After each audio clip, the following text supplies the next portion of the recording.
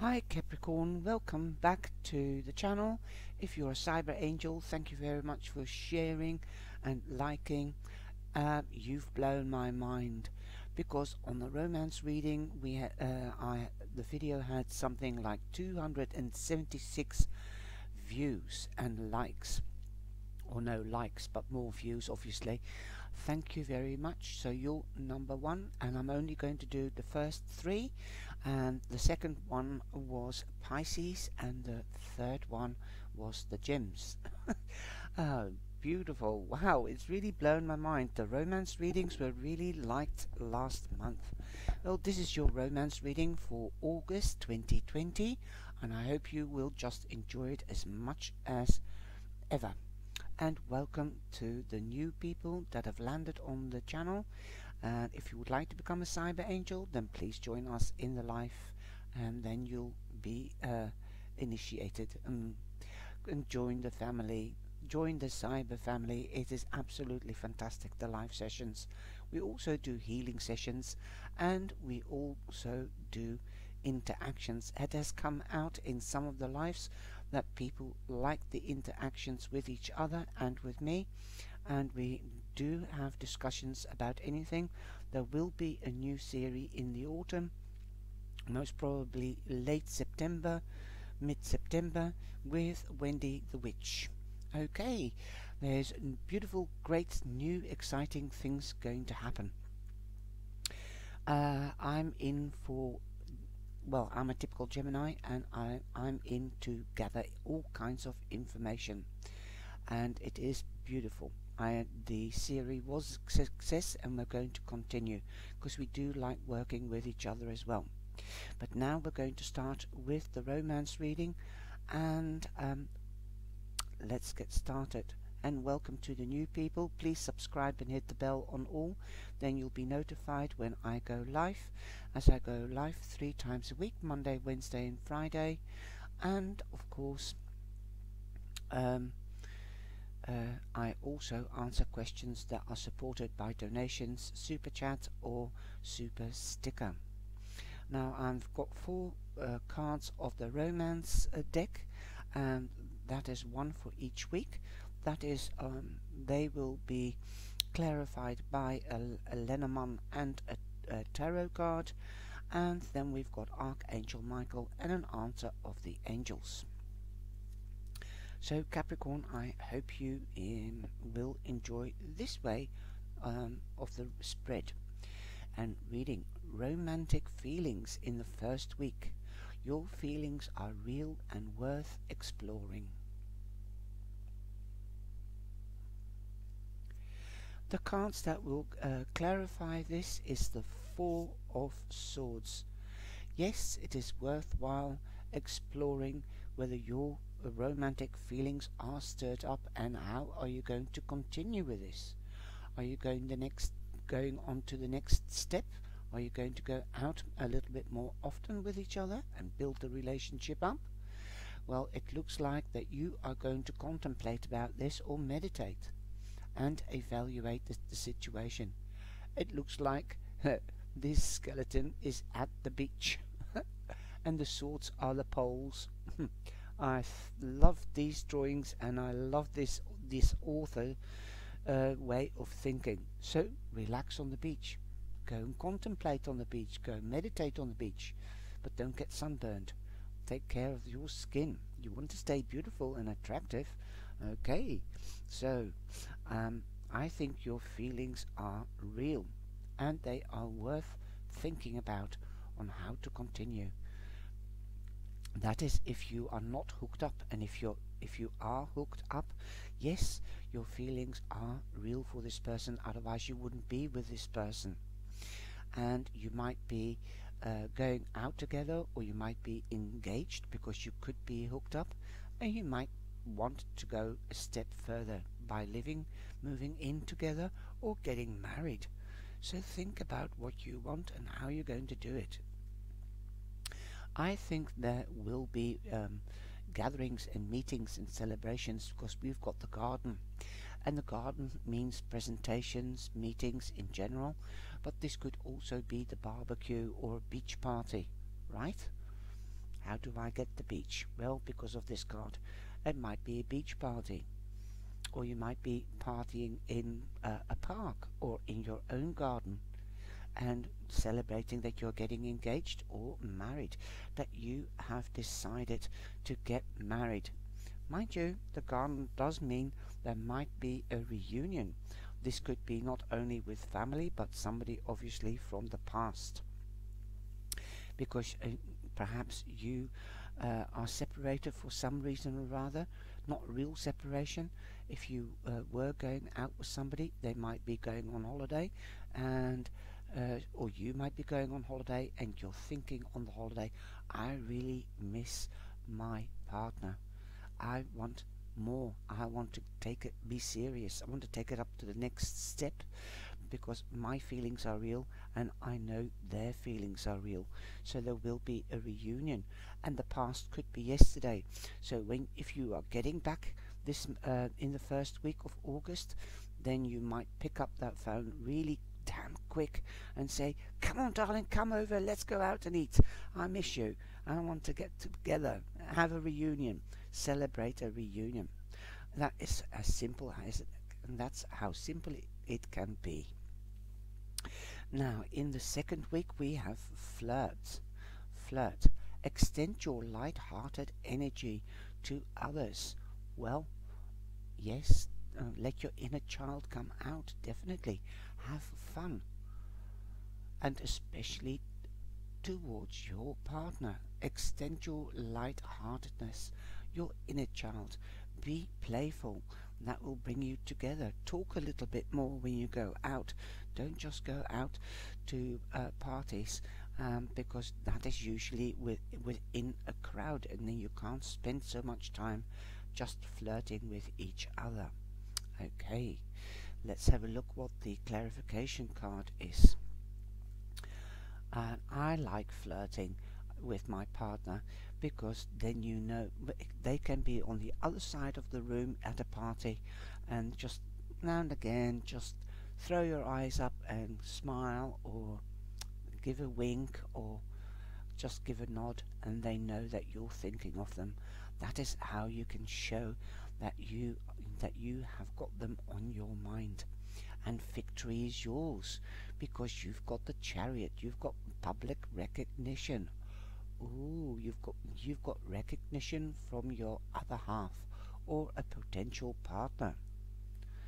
You've got number seven, and that means good luck. You are onward, uh, onwards and upwards. I think you are getting closer and closer. Or and if you are hooked up, you do make them feel special because they are recognizing your flirtatious um, attitude uh, towards them. This could be a cancer because the chariot stands for a cancer. So if you're going out with a cancer, they do like flirts, they do like the love and attention and the passion. They really will be feeling flattered. Ah, doesn't anybody like attention? Wow. And you might be going on holiday with your partner, with your flirt, okay, because the chariot is also a vehicle of travel.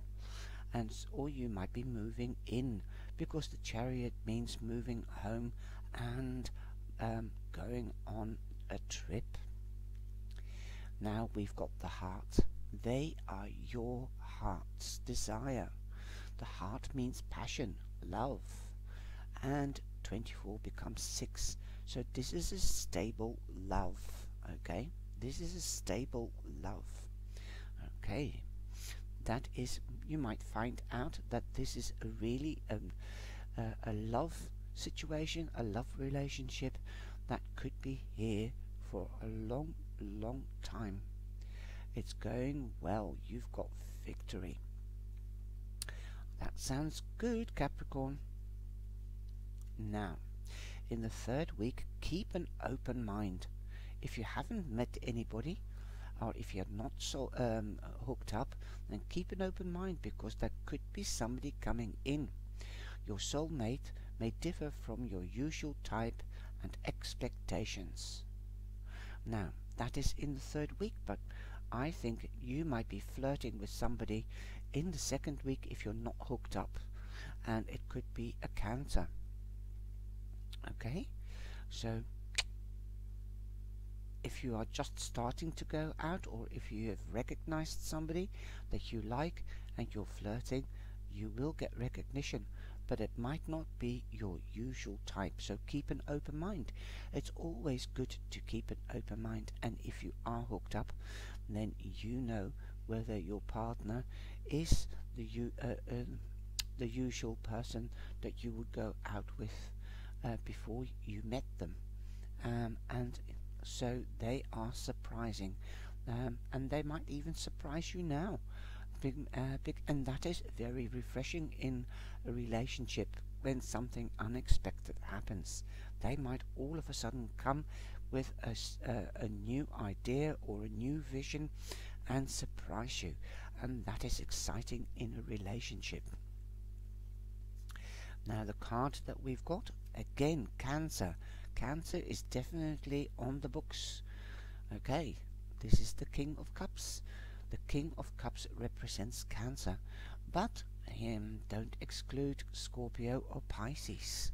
Wow, they are very sensitive people, also sensual and sexual. Uh, especially Scorpio is known for its sexual appetite and, and passion. Well, they are close to um, Sagittarius, aren't they? So that is, um, it could be somebody that is um, a, uh, a, Sagittarius Scorpio rising or a Scorpio Sagittarius rising or Cancer and Scorpio uh, a rising or moon and that will have the influence they do listen to their intuition and their heart and they are very um, sensitive uh, and their heart does break easy but they could also be very spiritual they could be into meditation and contemplation big time. Talk about it.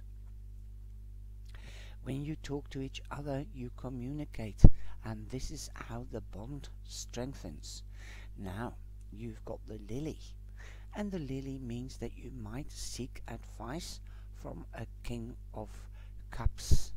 It could be a mature man.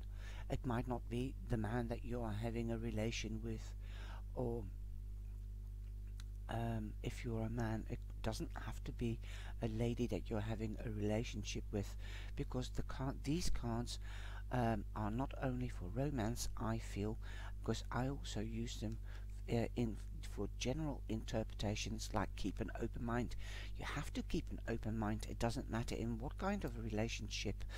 If you have a, a friend, um, uh, your best friend, um, you might empty your heart to them and you have to keep an open mind that they see things differently.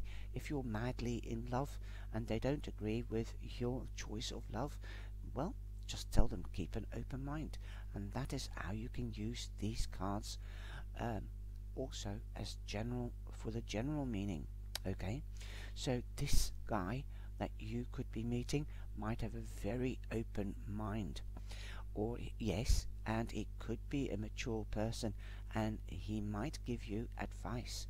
Or it, if you want advice about your relationship you might just meet a mature man or go to a mature man like a father figure to seek advice with regards to this man that you're going out with.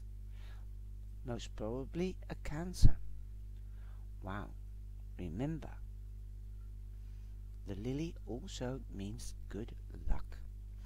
And we all need a bit of luck from time to time, but usually you can make your own luck, especially if you flirt and keep an open mind. And let your romantic feelings be known to the other who is concerned.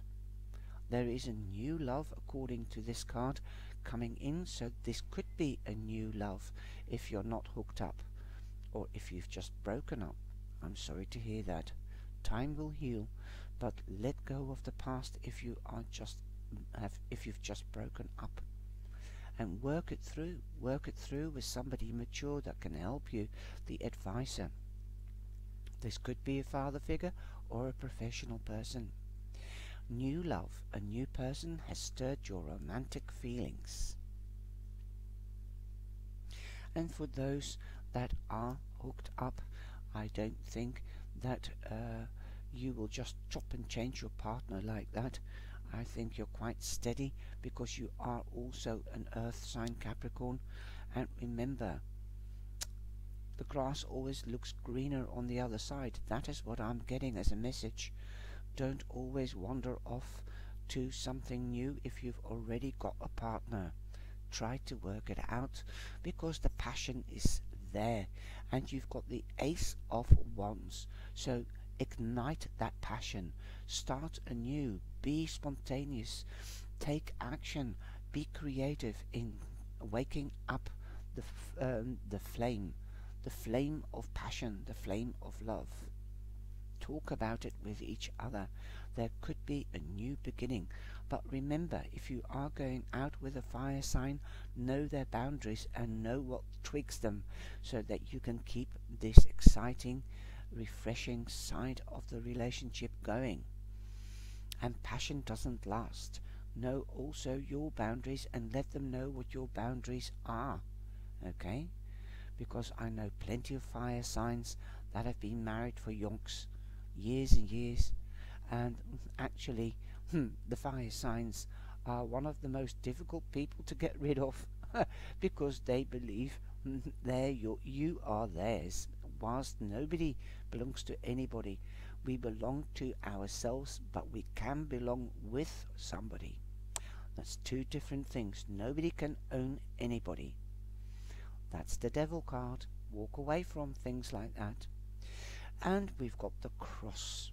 We've got the cross um, explaining this new love. You might be up in your head about it okay? You might be stuck in your head. You might be depressed. Right. You might be depressed. Why? Because you might be scared of this new love. And if you are in a relationship, you might be scared that whatever exciting action you might take, uh, it won't be appreciated. Well, if you don't try, you haven't succeeded. You failed. So try, and then you haven't felt. Do you understand the saying? If you don't try, you've already failed. You've got nothing to lose. Sorry about that. Be creative and be passionate. But don't get burnt out. Know your boundaries and know their boundaries. Then you can compromise and keep the balance and the excitement in your relationship. Now the overall energy from the Lenormand is the book. So that means that you might not know something. You might not have enough information on how to maintain your relationship or how to get the attention. You've got the recognition, but how to make this recognition coming in uh, st um, steady and uh, make it into a relationship. That is if you haven't got a relationship.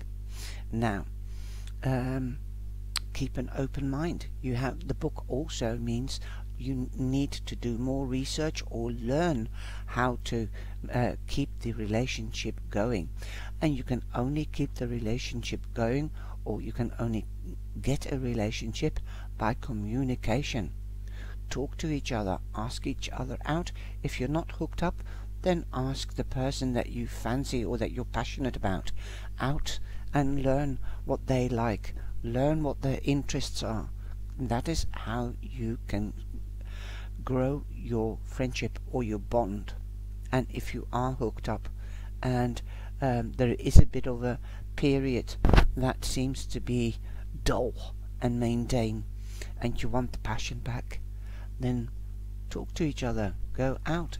And if you can't go out because of some countries returning to lockdown then do something at home have dinner on the balcony if you haven't got a garden have dinner in in the dining room instead of the kitchen Make something romantic and exciting, and the passion will return, so long you make the effort and keep the communication going.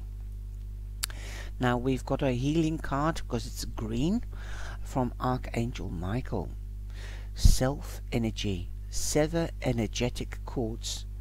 Well, what does that mean? Save your energy for the right moment of love and passion. And if it is negative, then walk away. You don't sever the energetic cords. So if the um, if if something doesn't feel right in a relationship, then it's better to walk away than agitate each other and start an argument. Try to come back later and talk gently and find out again what the issue is and how you can make things work. Have faith, okay? Come out of your head. You are at the crossroads on what are you going to do? Do you want this a passionate uh, a passionate relationship or do you want a long-term relationship? Have faith that you will and get to the next level and you will uh, have the excitement and the passion back. You might have to make a choice, but you have to come into action in order to make it work. Have faith in yourself, have faith in the other, trust yourself and trust the other. That is also what is love. Also respect each other's boundaries, respect each other in many ways. Otherwise the cords will be severed. Okay, so preserve your energy and sever energetic cords with those that might not agree with you. Um, think what you have to sever. Okay? Archangel Deli Michael delivers powerful healing to sever energetic cords of attachment and rebalance your energy fields. There might be somebody in and around you around you that could be jealous of you that you are spending so, so much time with your partner and that you you both uh, have faith and trust in each other that be careful of influences outside your relationship don't let anybody spoil look there's three people. Don't let anybody spoil your relationship. The answer of the angels is listen to your intuition. And never doubt your intuition okay? So that is your romance reading for August the uh, 2020 take action. If you are hooked up make sure you uh, find something uh, new and refreshing I know it's uh, it's easy to say, but be inventive, okay? And ask somebody for help, even if it has to be professional. If you're not hooked up, then uh, you are learning. If you are a young person from 18 and upwards, because uh, these videos are not made for children, and I know 16 year uh, 16 year olds aren't children but um, they think they're grown up, but they're still grown up in children's bodies. You are developing, you're not all there, so learn uh, from others. Okay, ask uh, help from parents or uh, an uncle or somebody that's mature and you respect, perhaps your grandmother or your grandfather, so that you can grow into a steady relationship perhaps with this king of cups okay? They're very sensitive. You must uh, learn to respect each other and communicate with each other.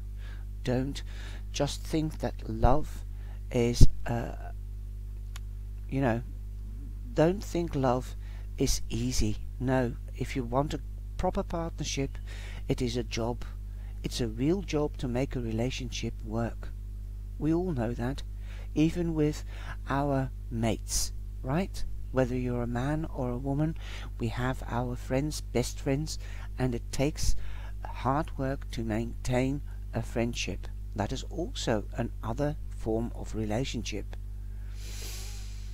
Yeah. So just learn.